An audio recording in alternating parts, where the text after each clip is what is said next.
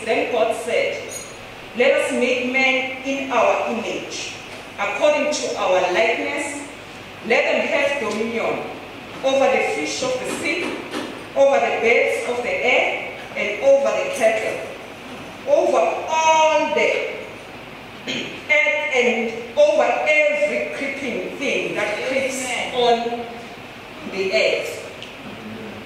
We are made in his likeness to have dominion over all things, not people, but over all things, including money. We must control money. We mustn't let money control us. He has given us dominion over all things, and we are made in, in His likeness. John, John 4, verse 23 says, God is a spirit, and those who worship Him must worship Him in spirit and in truth. But I like it with the Passion uh, translation. The Passion translation says, From here on, worshiping the Father will not be a matter of the right place, but with the right heart. For God is a spirit, and he longs to have a sincere worshippers who worship and adore him in the realm of spirit and in truth. We know that you are spirits and it's we're living in a body, we have a soul. So uh, in other words, there are three realms in you. You have three realms in you. It's a body, soul, and a spirit. So it's up to an individual with which realm does he live in. But according to God, he wants us to live in the realm of the spirit. So as we are giving, you give from the spirit. You don't allow your body to control you how much do you give, or your soul to control you. You listen to the spirit. You you give from from the spirit. And if you give from the spirit, all things, you shall have all your needs being met. God is able to meet all your needs. He said he shall supply all our needs according to his riches in glory. Let me read this scripture. Let, us read this scripture together. 2 Corinthians 9, verse 6 to 12.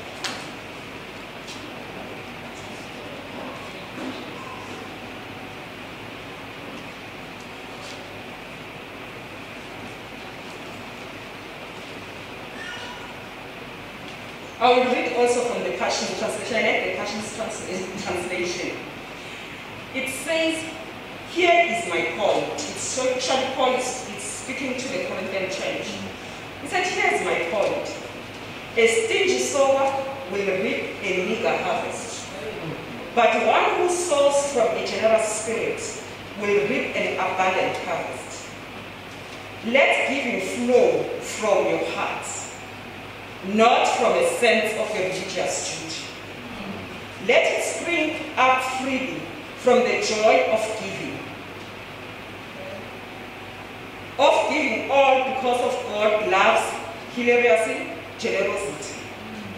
Yes, God is more than ready to overwhelm you with every form of grace so that you may have more than enough of everything every moment and in every way.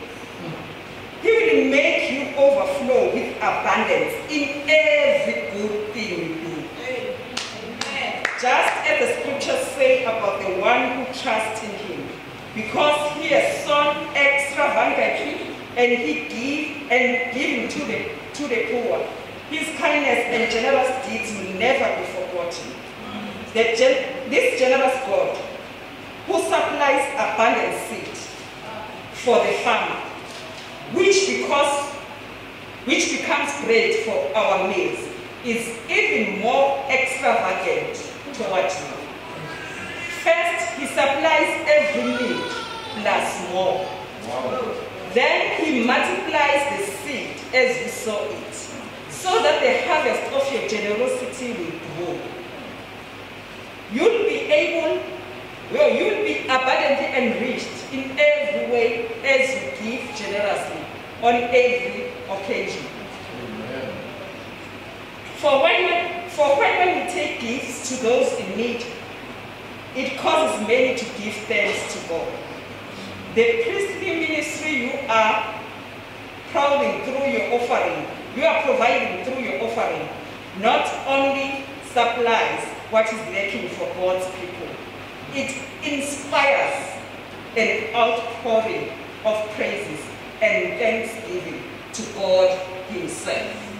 So as we give this morning, we trust God that all things are turning and are working for our good. We trust that all our needs are met. And nothing shall befall us, nothing shall by any means hurt us. Even if they say there is a third wave, nothing, no third wave us. As we give today, let's purpose in our heart, Lord, I worship you with my giving. I worship you with my offering. I worship you with my seed, and I trust that I will have a great harvest and I will advance your kingdom. So let's give him with generosity so that we can have an extravagant uh, harvest. Lord, we thank you this morning. We thank you for grace upon grace. We thank you for your mercy.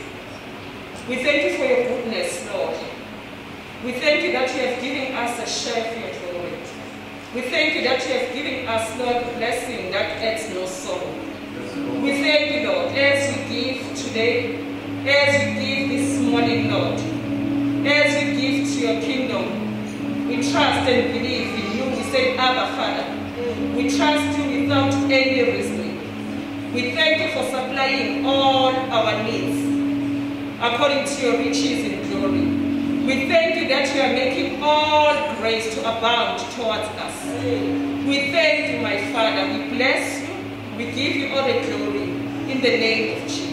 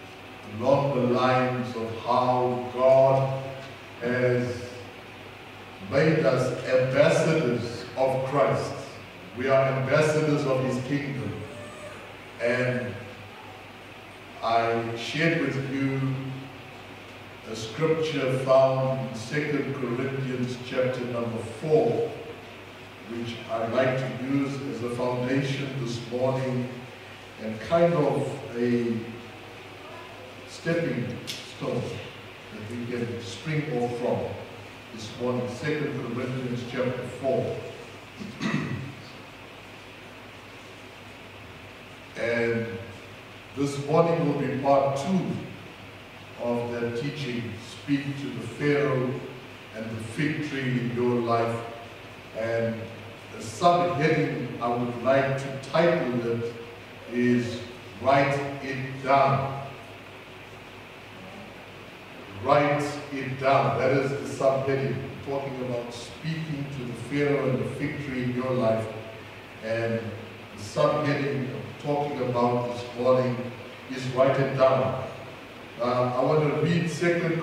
24, verse number 13. And I'm going to read three translations for you, and then we will you know, kind of break it up for you. Now, the New King James Bible says this, and since we have the same spirit of faith, according to what is written, I want you to highlight that. Since we have the same spirit of faith, according to what is written, I believe and therefore speak. We also believe and therefore speak. See that? Paul speaking to the church in Corinth. Says, We have the same spirit of faith according to what is written. In other words, it is written already. I believe and therefore speak. He says, we also, we have the same spirit, that same spirit of faith. We have it. And because that same spirit of faith is in accordance with what is written, we also believe. And therefore we also speak. The New Living Translation says this, but we continue to preach. I like that. We continue to preach. To preach means to proclaim, it means to declare. In this sense, it means speaking what you believe. See that? But we continue to speak what we believe. We continue to preach because we have the same kind of faith that the psalmist had when he said, I believe in God, so I speak. Now, who is that psalmist? That psalmist is David. He's saying that faith that David had, you and I have. You with me? That faith that David had. David's faith rested in God. That's why he said, I believe in God. Therefore I speak. I speak what I believe. And what I believe, I believe God. I'm speaking God to my situation. The Amplified says, Yet we have the same spirit of faith as he had. We have the same spirit of faith as David had, who wrote in Scripture, I believed, therefore I spoke. I believed, therefore I spoke. That is Psalm 116, verse number 10. It says, I believed, therefore I spoke. We also believe. Therefore, we also speak. You see, ladies and gentlemen, brothers and sisters in Christ, faith is a spirit. That's why Paul said we have the same spirit of faith. If we go to the book of Hebrews, Hebrews chapter number 10, and I'm going to read from verse 38. It says, Now the just shall live by faith. But if anyone draws back, my soul has no pleasure in him. But we are not of those who draw back. See that? We are not of those who draw back to perdition, but of those who believe to the saving of the soul. We are of those who believe in Jesus. We are of those who believe that Jesus is the way, the truth, and the life. We are of those who believe that Jesus died and he rose again. And because he rose again, God will raise us up together with him. That is what we believe. And that is what we speak. It means that there's no tomb or grave big enough to bury me because I died with Christ, I'm risen with Christ, and I'm seated together with Christ in heavenly places. It means there's nothing that anybody can say to keep me from rising. Come on, talk to me. If we partakers of his, of his death, we partakers too of his resurrection. Hallelujah. Come on, somebody. Then he goes on to he goes on and he says, Now faith is the substance. Faith is the substance of things hoped for. In other words, faith is now. In other words, I am a now person. Oh, Jesus. The writer of Hebrews was talking about the just living by faith, and we are not of those who draw back, but we are of those who believe to the saving of the soul. And then he goes on to say, now faith is. Now, what he's saying is, faith has now become to us the substance. The substance. Substance, the Greek word hypostasis, means the foundation. Faith is the foundation. Faith is the starting place. Faith is the setting. Oh, Jesus. Faith is that which places under.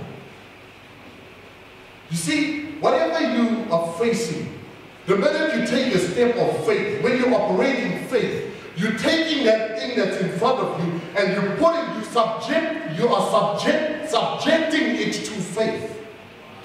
So faith places that thing under your control. Faith places that thing under your authority. Look at Moses. Moses had to go to Pharaoh. It was a step of faith. Yet to go to the leader in Egypt, the Pharaoh of Egypt. I mean, how many soldiers did Pharaoh have? Yet Moses went by faith. And just by going in faith, his faith subjected Pharaoh. His faith placed Pharaoh under his control. It means his faith overrode Pharaoh's authority. Come and talk to me. He says, now faith is the substance of things hoped for. It means whatever I am hoping for, you understand what I'm hoping for, what I'm trusting God for, what I'm believing God for. You see, now faith takes whatever I'm facing and brings it under control. Brings it to subjection of what God has shown me, of where God is leading me to. Are you getting that? Faith is the substance of things hoped for, the evidence of things not seen. Faith is evidence. Means that, sorry brother, can you pass me my jacket, please? I want to show you something. Joshua, You see, when, how does faith come? Romans 10, 17 tells us faith comes by hearing and hearing the word of God. We just read now, since we have the same spirit of faith according to what is written. You see, what is written has given me faith. You see, according to what is written. So, in other words, you read what is written and faith came. And now, faith, you see, faith creates an image, a picture that only you, the, the recipient, the possessor of faith, the possessor of that word, only you see. The world around you cannot see it. Right? You get that? In other words, you see the inside of this jacket. You cannot see it. But he can see it. It is evidence to him. It is a reality to him. But to you, it's not a reality. You can't see it. So you don't understand it. You don't know what he's seeing. Now that's what faith is. That he will go according to what he's seeing, not according to circumstances. Thank you. That is what faith is. You are a man of faith. You are a woman of faith. He says, I be, come on, talk to me. The psalmist David, listen, David, we know David was, man, he was a worshiper. He was a man after God's heart. Hence you find quite a number of psalms which were written by David. That means David was a writer. David was a writer. Solomon, his son, who took the throne after him, was a writer. Moses was a writer. Paul was a writer. Peter was a writer.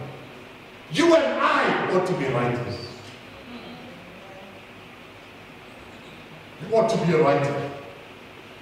Habakkuk, let's go there quickly. Habakkuk chapter number 2. Habakkuk chapter 2. Just after the book of Nahum in the Old Testament. Habakkuk. When you there, you say amen. Right. Habakkuk 2, verse number 2. Then the Lord answered me and said, Write the vision. See that? The Lord answered. In other words, the Lord spoke. And what did the Lord say?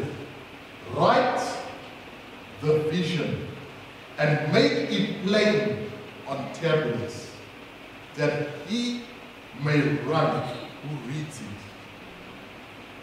Write the vision of Jesus. Hallelujah. Thank you, Father. Thank you, Jesus. Thank you, Lord. Isaiah 8 verse 1. Moreover, the Lord said to me, Take a large scroll and write on it with the man's pen. You see that? Take a large scroll and write on it with the man's pen. Habakkuk is, is saying here, write the vision and make it plain on tablets, that he may run who reads it. For the vision is yet for an appointed time. The vision yet is for an appointed time. There's an appointed time. Let me tell you, that's why we encourage you when you come to service, come with your Bible, come with a notebook, come with a pen. Because why? When you do that, listen, you are demonstrating, listen, you are the writer of your life. Whatever you write, you're writing your life. You're sitting in a service and God is speaking word. God is giving you word. As the service is going on, the words that are coming, you start writing down what God is confirming with your spirit. You're writing it down. It's important to write. Listen, there's a Chinese philosopher named Confucius. He was a Chinese philosopher and politician. And he had this, there's a specific thing that he believed in, was I hear and I forget. You see, because it's not easy for you to absorb the entire message of a service through hearing. That's why you've got to write it down. Because I hear and I forget. I see and I remember. See that? That's how you write it down. He says here that he may run who reads it. When you read, it, you see. So he said, I hear and I forget. I see and I remember. I do and I understand. The understanding comes through doing. You know, early in my working career, I spent years in the retail uh, business. And I worked for a company named Ellerine Holdings, which became the largest furniture retailer in South Africa And that company was started by two Jewish brothers who came from Israel. And all they had was a suitcase and the money their mother had sent them. And as they, were, as they got off the train, this is the story from Eric Ellerine himself, he got off the train, and then they realized they need to get stuff in order for them to try and set up home. They walked past a second-hand shop. They walked in. They saw a wardrobe. They bought it for their clothes. Then they thought, how are we going to take this home? They saw a wheelbarrow. They put it on the wheelbarrow. And they pushed it. And as they were pushing it, somebody saw them. And somebody asked, are they selling it? And at what price? And Eric and Sydney conversed and quickly they responded. And they named the price higher than what they had paid. And they saw that through doing that, you can make money, you can make a living. And they started their first furniture shop. It was called Station Furniture down in Germiston. And he based his business, he built, he built his business empire on that belief and that system. I hear and I forget. I see and I remember. I do and I understand. Come and talk to me, somebody. Now, what I'm trying to get across is that yes, we hear the word of God. But when you're faced with circumstances, you forget what you heard. That's why you got to write it down. So that when it is written down and you're faced with circumstances, what you do, you run and you go look for what you wrote. Because what did you write? You wrote words. Where did the words come from? From God. God, come on, God convinced your spirit, convicted your spirit, spoke to your spirit. God is spirit. We just heard it. Sister Milton shared with us. God is spirit. Those who worship God must worship Him how? In spirit. When God speaks to you and God confirms something to you, He does it through your spirit, not your head. That's why it doesn't make head sense. It's nonsensical to the mind. But the Spirit understands. So he says, write the vision and make it plain on tablets. I want to encourage you. Daily, write down what God is saying. You know, we grew up in school, I remember we had a subject called scripture. And we would often, you know, you take out your notebook and the teacher would quote and write down scripture. Now back then it didn't make sense, but now it makes sense to me. That what I was writing, as I was writing the words, I was actually writing the story of my life. When each of us are born, you see a newborn baby is given this a blank sheet,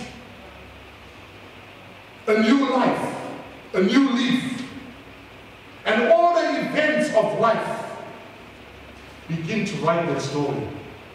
But the thing is, as long as you do not write, you are allowing the things that are happening around you to write the story of your life and dictate the end of your life to you. Come and talk to me. The Bible says that the Lord, He is God, declaring the end from the beginning. So you see, when God speaks to you, God is telling you about your end. That's why when you live your life, don't live your life based on where you're at. You are in transition.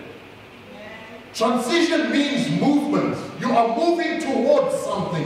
You're moving towards a glorious future. You're moving towards a good ending. It's not the end of the story. I don't care what problem came your way. Yes, there may be a problem, and there may be another one. Come on, you can be like Job this morning. Come on, Job lost his children, and then they came to listen. They were telling him, "Listen, Job, you lost your cattle, you lost your livestock. Job, you lost your children. Job,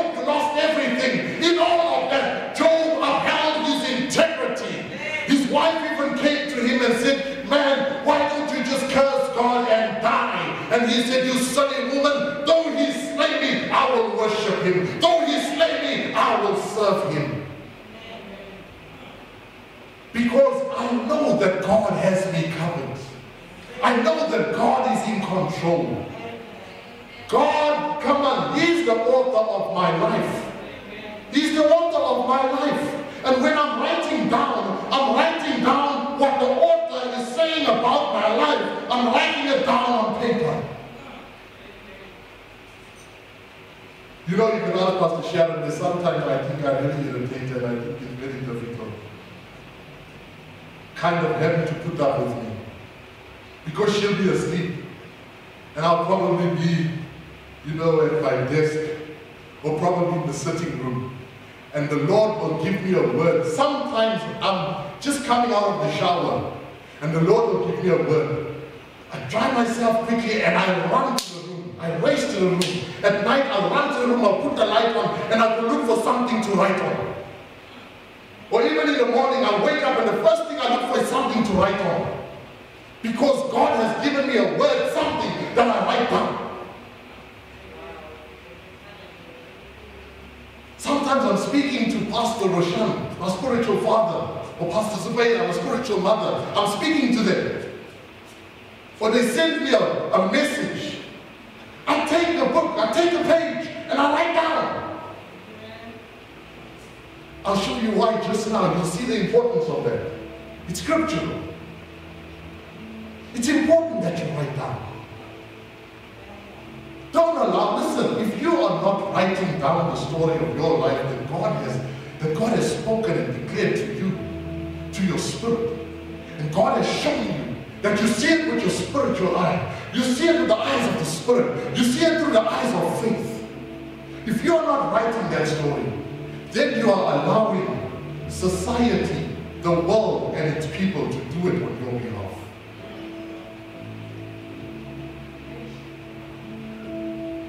When you write down, no matter what people say about you, no matter what circumstances try to dictate to you, you go and visit what you wrote down. And you start speaking what you've written down. You see, he says, write down the vision. Write the vision. Make it plain on tablets. That he may run who reads it. It means that there's times in your life that adversity will come and visit you. Our lives are not, come on, we are, we are not, or we do not live our lives free of adversity. An evil day will visit every individual. An evil day will visit. But when that evil day visits, you have something that you have written down that you can speak to your day. That you say what God has said. And when I'm saying it, I'm speaking my future and I'm bringing it to existence. I'm speaking it by faith. And remember, faith, faith subjects what I see to be under the authority of what God has shown me.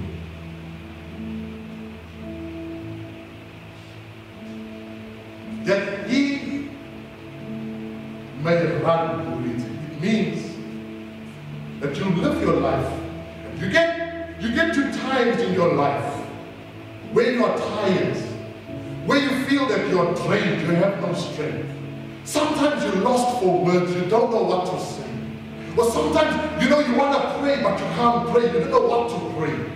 But listen, brothers and sisters in Christ, the Bible says the Holy Spirit Himself makes intercession on our behalf with groanings that cannot be uttered. You are there in your prayer closet. You want to pray, but you don't know what to say. You're just groaning in your spirit. Mm, mm, mm. Because now, you understand, the word that is within you starts working. And when you go and you take what you've written, and you start reading it, all of a sudden you regain your strength you start running. Because that's what Habakkuk said. That he may run who does what? Who reads it. You see, you're hearing the word now. When you go out of this place, there's a lot of things that happen. So much so that you forget what you heard. But if you've got it written down somewhere, you can always go and see what is written. You go and see what is written. And as you see what's written, you start picking up your pace and you start running your race. Understand? Are you hearing me, somebody? That he may run who me. For the vision is yet for an appointed time. The Bible encourages us. It encourages us. Amen. To continue doing good. Do not grow weary in doing good. For in due time, the Bible says, in due time, there's something that's marked on the calendar, on God's calendar. There's a due time. Everything that God has declared to you, there's a due time for it. Say amen to. The vision is yet for an appointed time, but at the end, it will speak and it will not lie. The vision will speak. Hallelujah. Ezekiel, I want to read something from Ezekiel 12, verse 24. The Lord says, For no more shall there be any false vision or flattering divination within the house of Israel. For I am the Lord, I speak, and the word which I speak will come to pass. It will no more be postponed, for in your days, O rebellious house, I will say the word and perform it, says the Lord God. We serve a God who is a performer of his word. Everything that God has said, it will come to pass. It will come to pass. It will come to pass. One thing I read in the scripture from Genesis to Revelation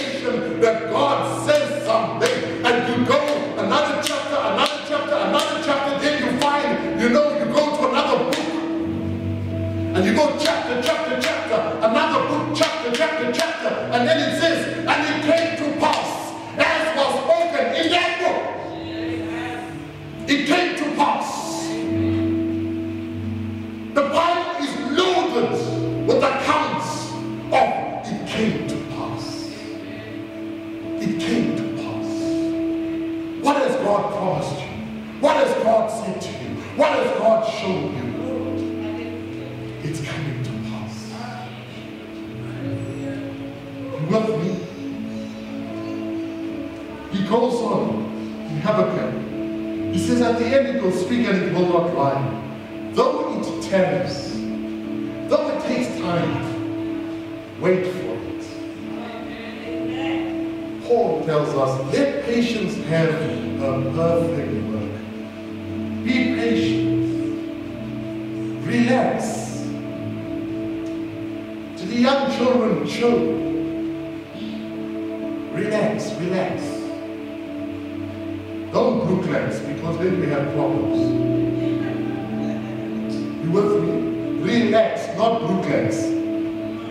Relax. Brooklands has adverse effects. You sit on another throne.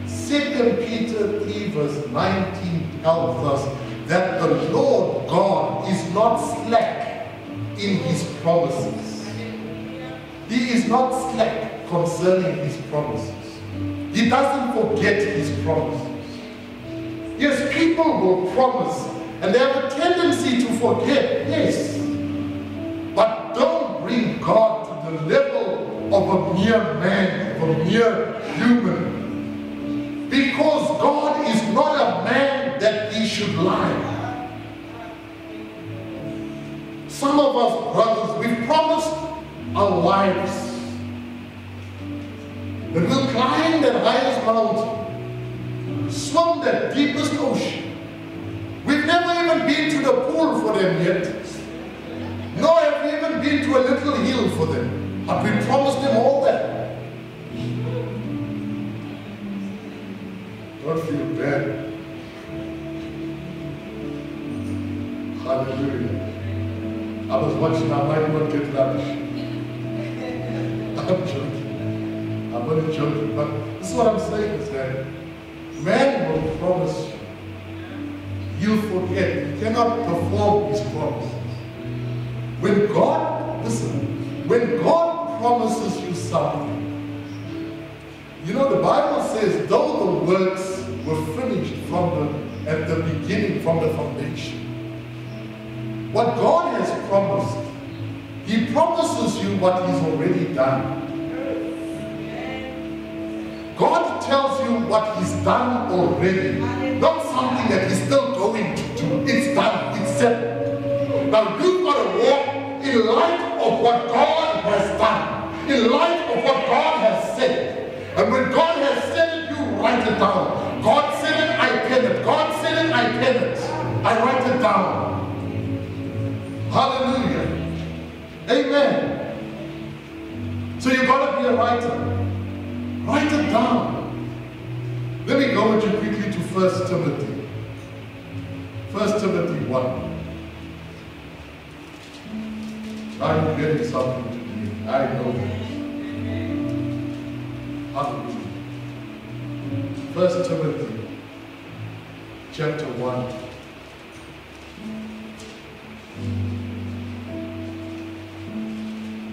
Watch this. 1 Timothy 1, verse 18. Paul says, This charge I commit to you, son Timothy, according to the prophecies previously made concerning you.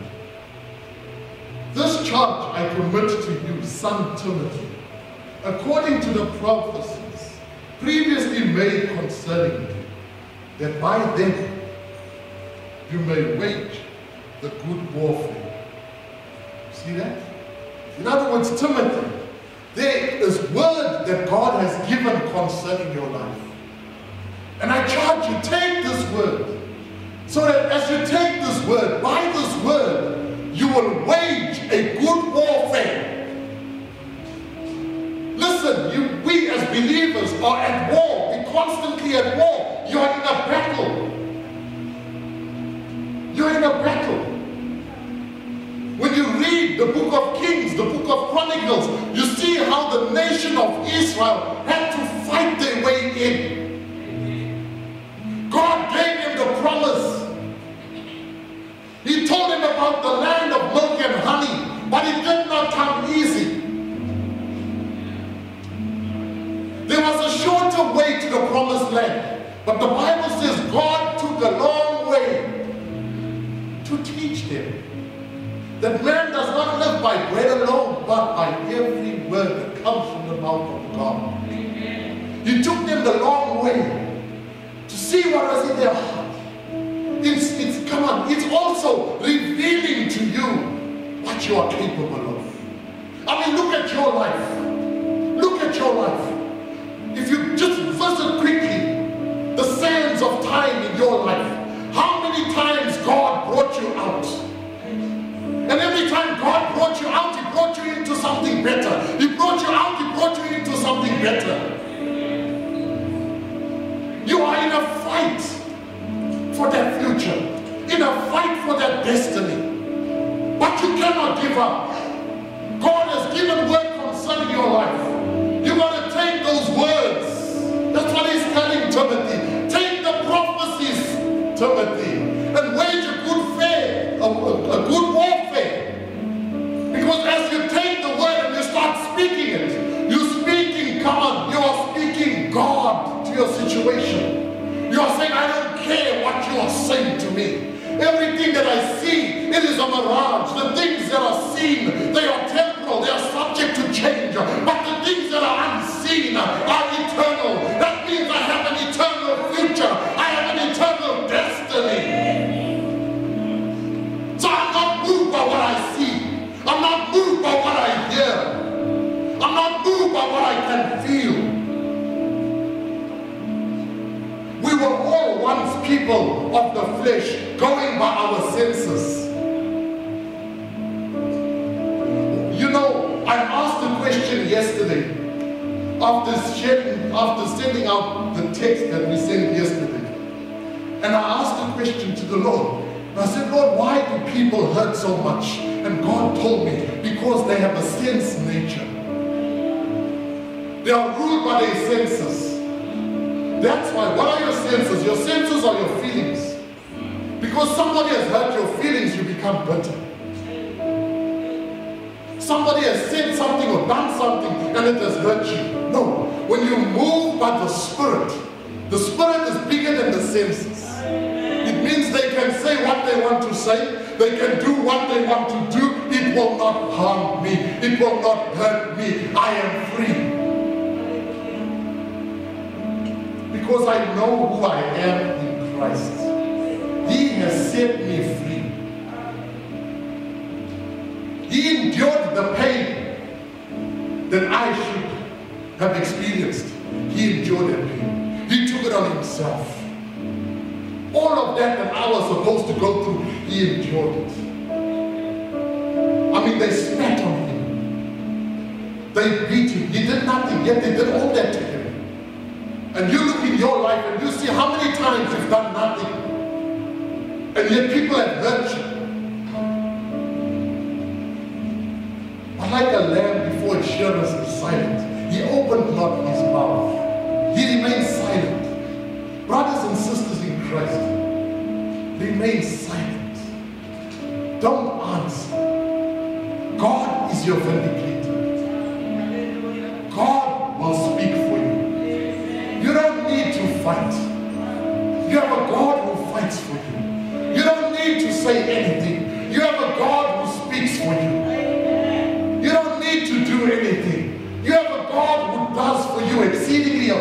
Above all that you could ever imagine.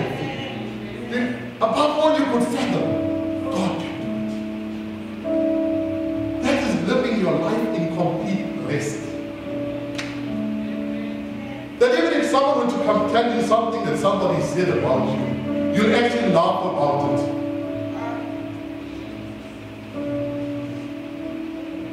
You'll even go on your knees and you'll pray for that person and say, "Oh, I feel very sorry for you. And you intercede because you know that God will move on your behalf.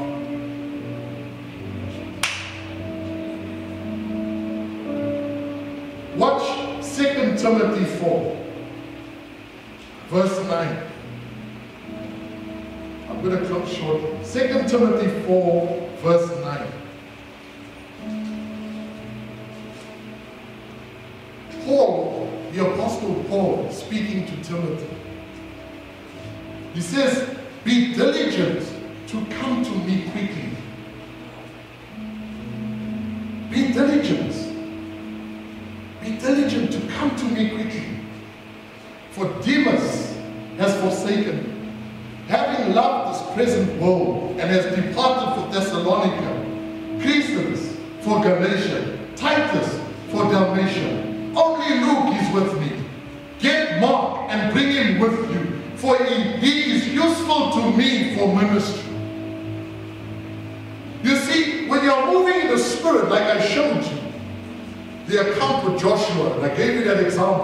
where when you're moving with faith, who is with you and who has left you does not matter anymore. You're looking at the vision. Paul understood his calling to ministry. Therefore, he could tell Timothy, I need that one because it's useful for this thing.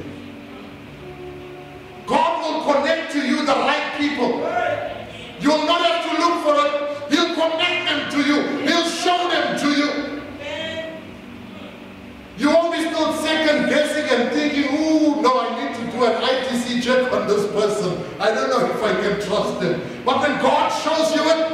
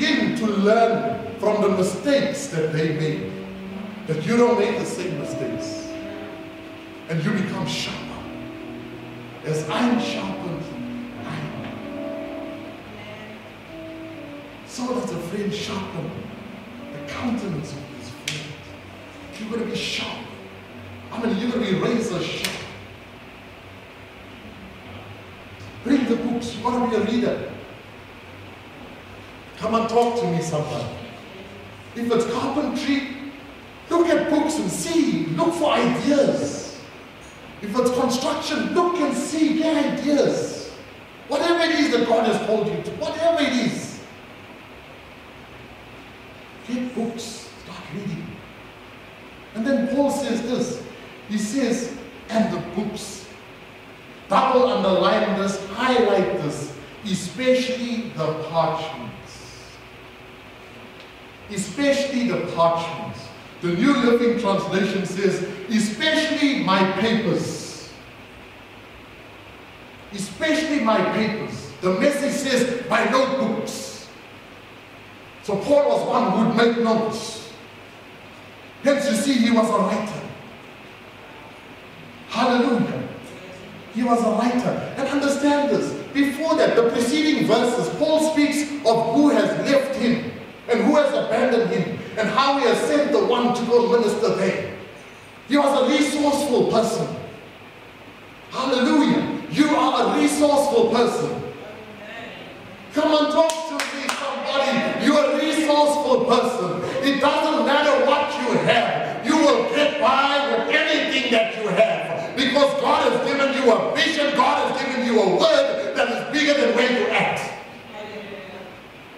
You see, and then he says, especially my notebooks.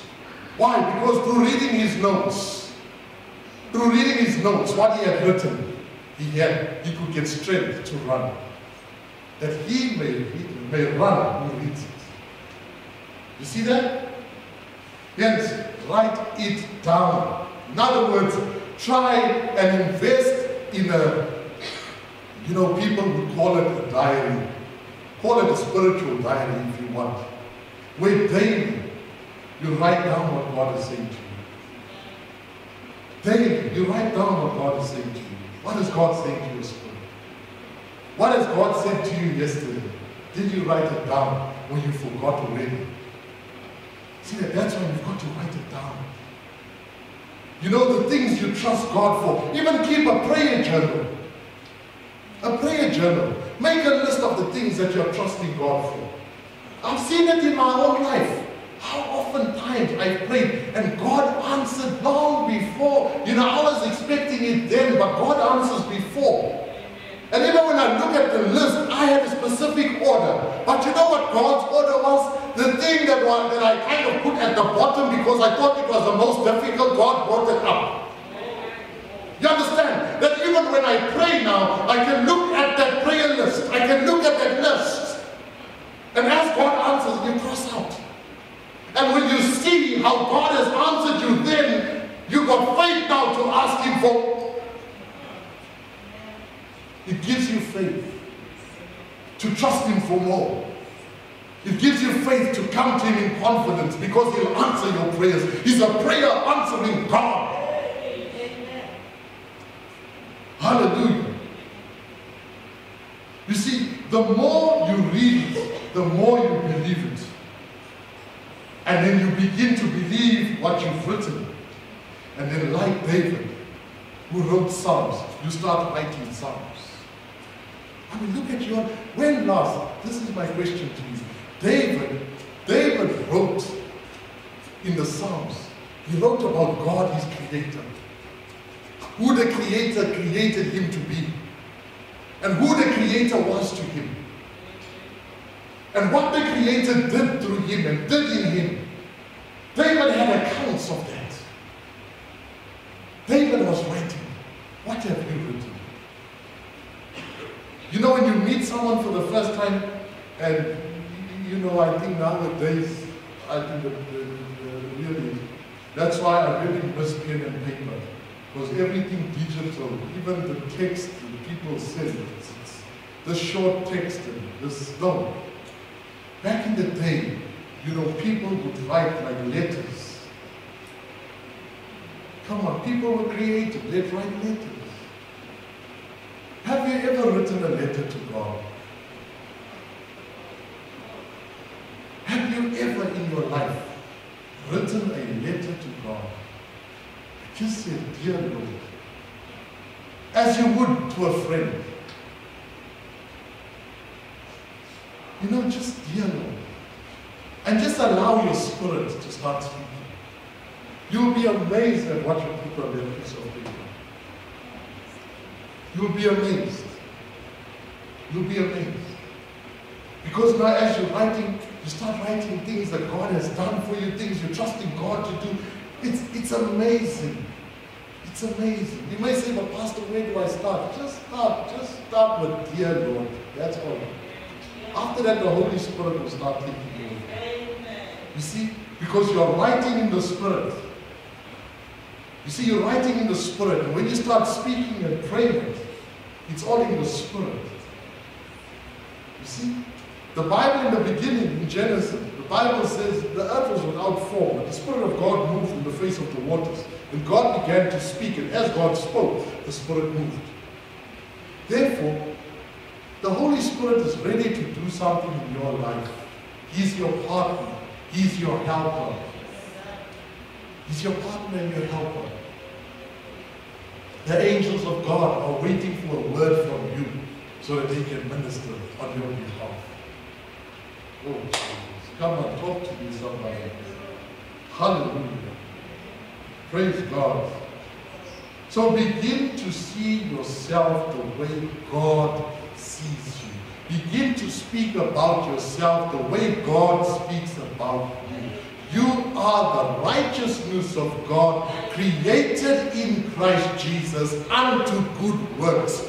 You have been, come on, saved, healed, delivered. To put it simply, you have become a giant in life. See yourself as a giant. Oh. See yourself as a giant. A giant in your academics. A giant, come on, talk to me. In your, if it's in business, a giant in business. In your career, see yourself as a giant in that field. Begin to see yourself there. Come on, talk to me. See yourself as a giant in sewing, in fight. Come on, in sowing. Don't say, you know, one day when things come right, I'm going to sow like this and I'll do like this for God. No. God said, listen, I see it in the end. I call myself that, which God has shown me. You must begin to speak that way. Say, I'm a radical sower. I'm a, regardless of what I'm doing. Yes, I'm moving towards it. But I'm speaking into existence. Every time I say one day, let me tell you, you're going to stay by that story where it's one day, one day, one day. That day will never come. It's the same like the ladies that buy the Chinese tea set that is there in the cabinet on the display and they teach the children this lie that, you know, no, you can't drink tea from those cups. Those are for the visitors when they come. How many visitors have come and gone? Those things are still there gathering dust. Sometimes you may take it off and wipe it just put it back on display and the child thinks, oh, I'll never get to drink from that cup. Because we're waiting for the visitors. And every time the visitors come, you'll find the child who says, oh, Mom, remember those cups? Oh, don't, don't, those, those are for the special visitors. Those visitors don't come. You see, because that is the mentality you have. Is that one day when God blesses me like this, I'll do like this, I'll do like that. No, God has blessed me already. God has blessed me already. Oh, Jesus, God has blessed me already. I am the seed of Abraham. I'm an heir of the promise that was given to my father Abraham. Are you hearing me, somebody? In Christ Jesus, the blessing that was upon Abraham has come upon me. I'm a descendant of Abraham. I'm an heir of that same promise. I see myself in the light of what God has said concerning Father Abraham. Hallelujah. Hallelujah. Amen. Hallelujah. Praise God. So writing down, ladies and gentlemen, awakens your consciousness to who you are. Writing down awakens your consciousness to who you are, who created you, who your creator is to you, what he has called you to do, and what you can do with him by your side. That's why you've got to write it down, pen it down. Amen. David wrote whom God was to him. He wrote whom God was to him. When last did you write whom God is to you? When last did you write who God is to you? Write it down. Amen. Come on, somebody. You see, today, this is what I see. Even if it means after church. Listen, it may sound like foolishness. It may sound like foolishness, but it makes sense. To the spirit man, it makes sense. My spirit man is awakened. So maybe today, go and invest, get yourself a, a notebook. You don't have to get an expensive diary. No, just get a notebook. And when you get that notebook, you see it's blank and there's all the pages. And that notebook, you give it a title. You call it whatever you want. Call it the Chronicle of Dolly, the Chronicle of Jeffrey, the Chronicle of Lucy, the Chronicle of Rodney, the Chronicle of Stacy by M. Thompson, the Chronicle, you know, the Chronicle of Vanessa, Robert. Put, put your name there. The Chronicle of Sunny, put your name there. What is a chronicle? A chronicle is a factual written account of important or historical events in the order of their occurrence. You see, so now you're going to write down the facts. Not what I'm seeing here. Factually, what God is telling me, the truth. I'm writing that down. Day by day, begin to write down. To write down. It is a record of a series of events in a factual and a detailed way. Maybe God impresses on your heart to buy a new home. What about that new home? What about that new home? The Bible says, whatsoever we ask in his name, according to his will, will it to us. But the thing is, God says, yes, you're asking me for a home. Tell me about the home. You can tell your friends about the home. You can show your friends the pictures of the home. How about you putting it on paper? This is your chronicle with God, your story with God. Tell God how many bedrooms. Be detailed, be specific. Where must the house be? Which street? What type of neighbors you want? Very important because sometimes you see it, woo, you move, and whee, you get there. Listen, you bought it, there's a bond, you bound to it for 20 long years. So you ask God all that, ask detail. It could be you trusting God for a business. What business? Where about? Come on. A job. Where about? What type? Be specific. You want to study? Yes, you want to study. Where? What? How? You understand? This is your, listen, as you do that, you are saying that yes, I'm done with the old. I've got a new leaf now. I've got a new book now to write. I've got a new story to write because there's a new author. It's no more the world. It's no more society. It's no more people. It's now God. Because Abraham looked for a city whose wonder and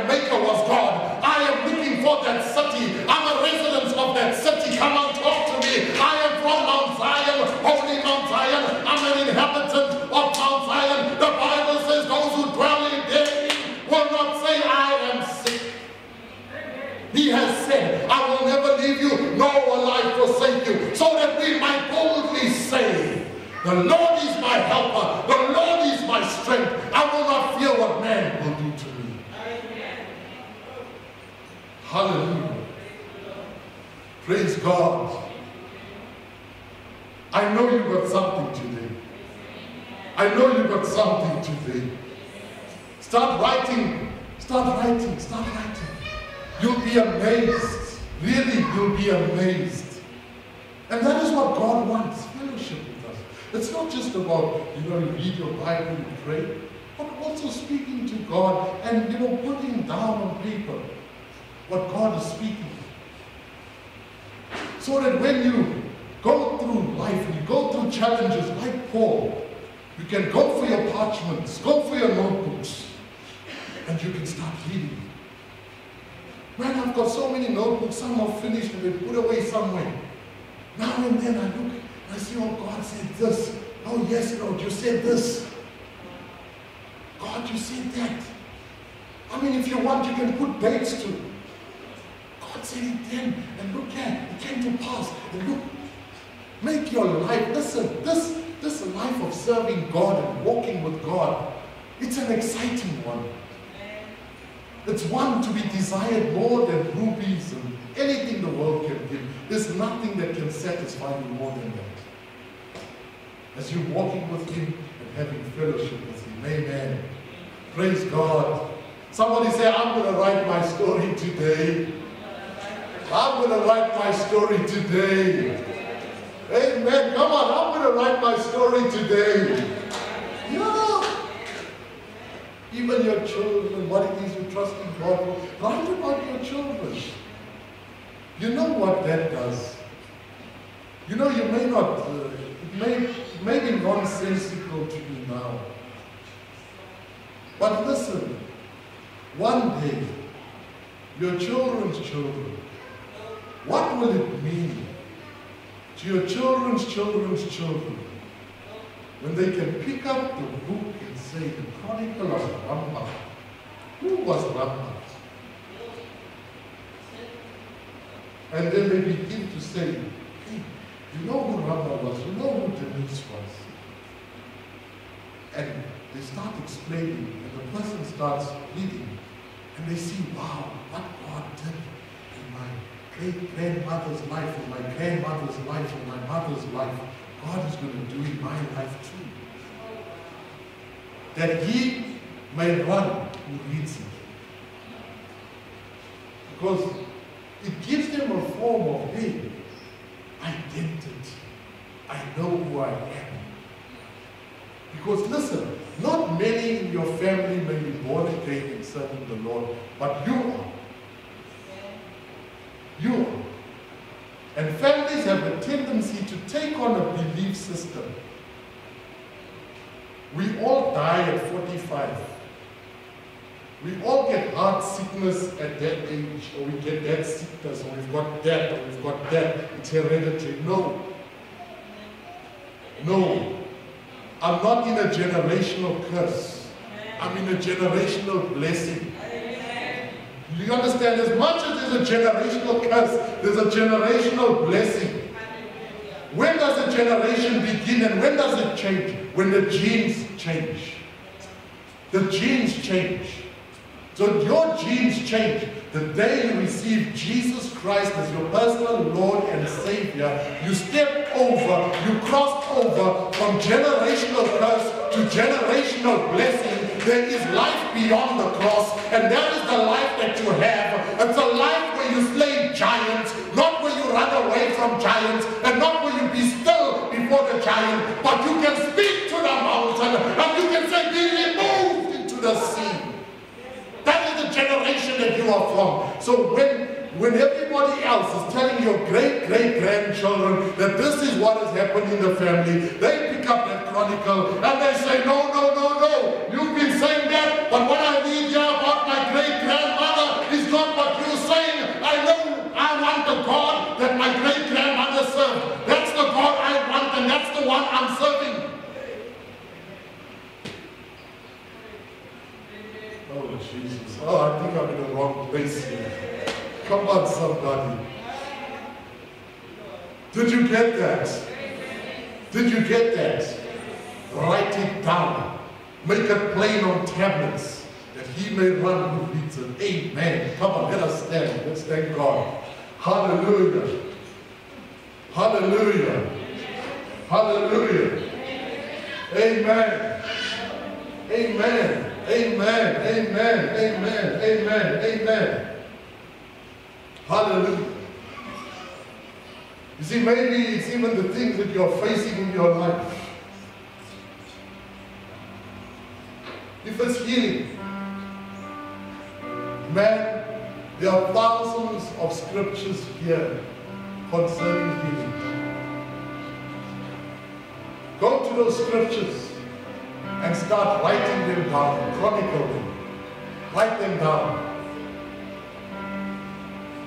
You see, God, by His Spirit, inspired holy men of old to write His word so that we can have something to read, something to give us life, something to give us a picture of who we really are, why He created us, and who He created us to be.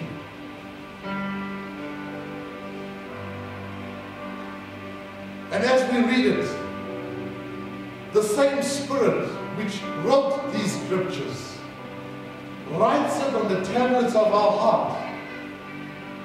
That's why Paul could say we have the same spirit of faith that David had. The same spirit of faith according to what is written. I believe and therefore I speak. We too believe. Means that as I read, I believe this also to be true concerning my life. And I speak what I believe. I'm not speaking what I read in the newspaper.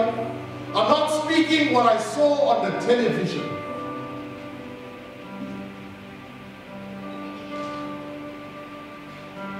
I was watching a documentary on Dr. Lester Sumrall, a man of God.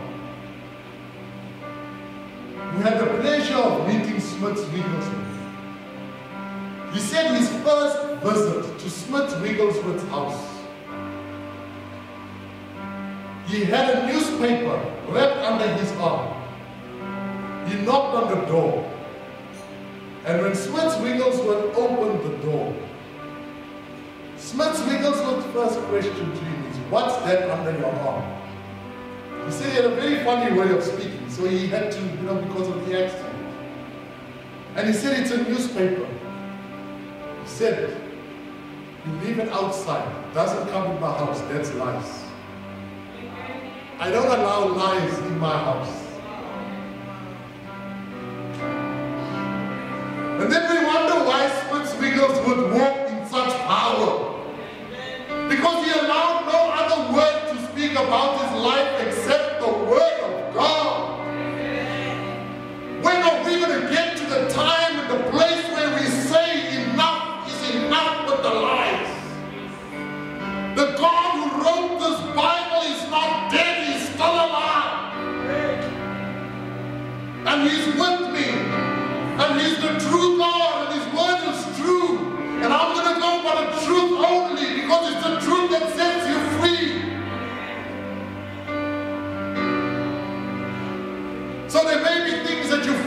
your life. Go and look, there are thousands of verses here, thousands of promises here concerning that thing. That you can write them down. And you can start speaking them. And you can start confessing them, declaring them, praying them, singing them. And it will come to pass. This is an amazing life that God has to. This word works. It works. Won't you be, you know, if I came here, I'm, I'm not worried about numbers. I thank God that week after week we are growing. Numbers, people are stepping out in faith and coming back to church. We should. This is the right place to be. It's the right place to be. But if I came here for one person, even if it means I came here for that little baby, and he can receive this word and take it in its entirety. If I came just for that one, it's worth it. Because that's the Jesus we serve. That even if you were the only person on the earth, if you're the only person alive, he still would have come to die just for you. With me? So give him a try today. Give him place today. Give him first place today. Begin your journey with him today. Write your letter today. Dear God, I thank you. And you can just go on thank you, thank you. Then you can say, I'm trusting and believing you for, and you go on. So wonderful journey. So wonderful life. It's a new life. Today, is the beginning of a new life. It's the beginning of a new story. It's the beginning of a new you. Amen. If you walk to your workplace tomorrow, just have that mentality.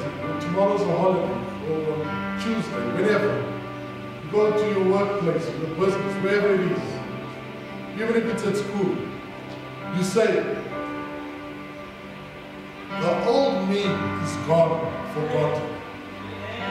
The new me has now come. It's the new me in Christ. You see, you've got to get that mentality. You know, I ministered the word of crossing the Red Sea. I think about two years ago. And I didn't know that my son Joshua actually took it until he said to me one day, he said, you know, Dad, you ministered on that. And I took that word. Because every time he'd always come second, second, second. There was this girl in front of him. And he said, you preached on the sea, and that girl is my sea. And I trust God God opened it. He opens the sea. And God did. From that time, every time, Joshua is there. He beat them. He beat them. By the grace of God. By the grace of God. So much so last year he became head of his school.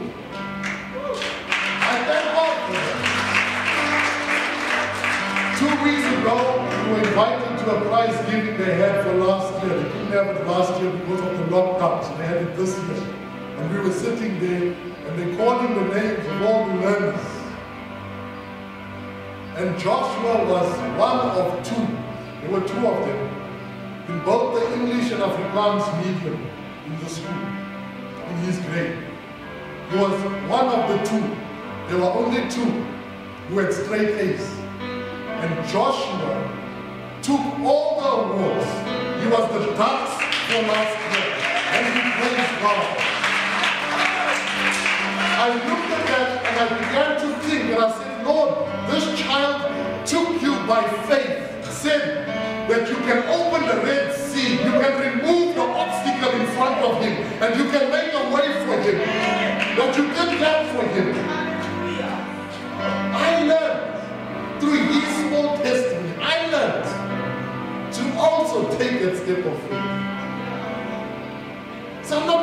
The obstacles dictate to me what I can and cannot do.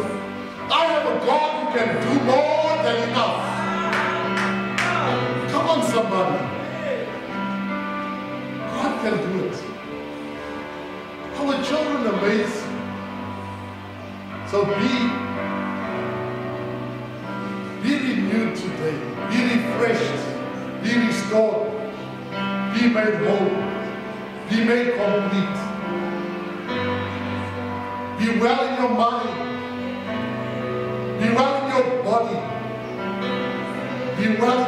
Spirit.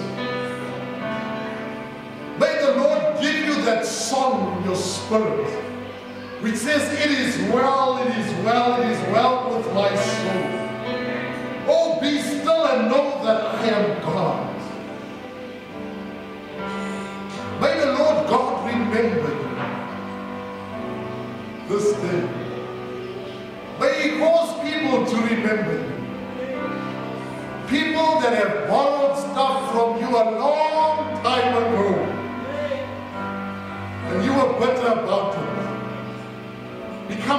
About it and just laugh about it.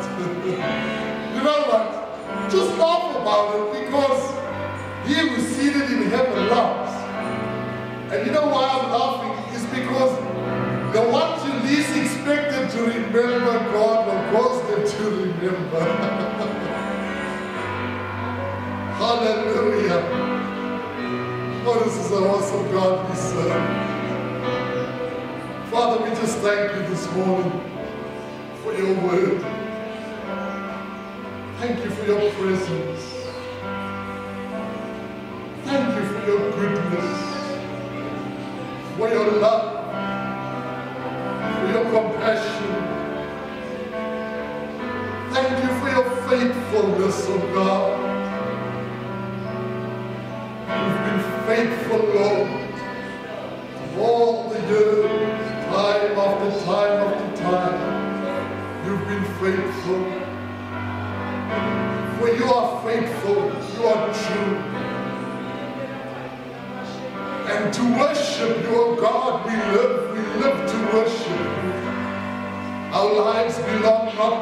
unto us, O God, but to you.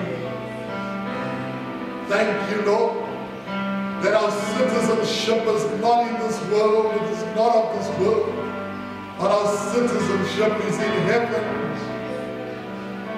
Oh,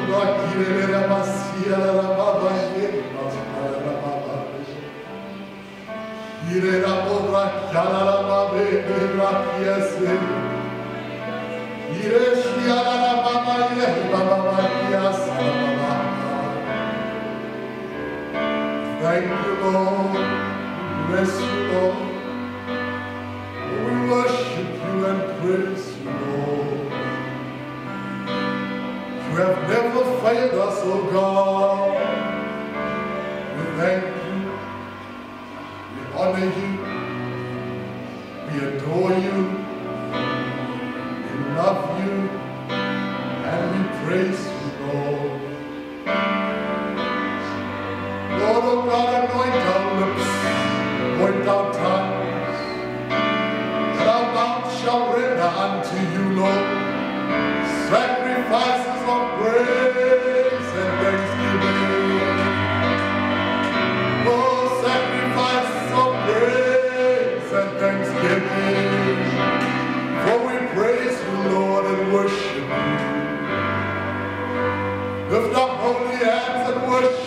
Lord.